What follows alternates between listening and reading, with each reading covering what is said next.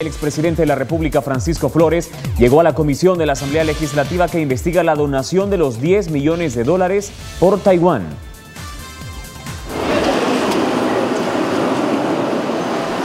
A su llegada, el exmandatario fue seguido por un grupo de periodistas y antes de entrar a la comisión especial dijo que dicha instancia legislativa es ilegal.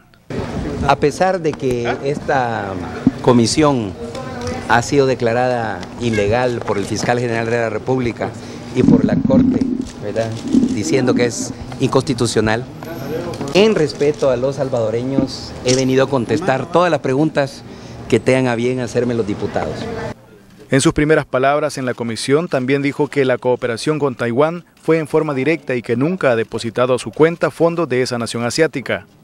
En estas entregas de los, de los fondos, eh, nunca participaba ningún funcionario. Era una cuestión totalmente personal y privada.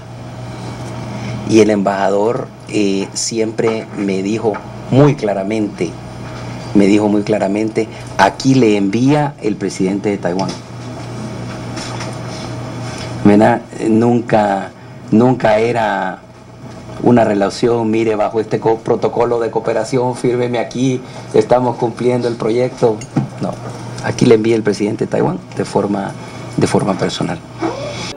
El exmandatario asegura que ni el Departamento del Tesoro, el Servicio de Impuestos de los Estados Unidos y la Fiscalía lo están investigando. Entonces resulta que entre más pregunto, más escucho la contestación que nadie me está investigando. El expresidente calcula que la cooperación financiera de Taiwán rondó los 15 o 20 millones de dólares durante su mandato. José Eduardo Sánchez para Tele 2.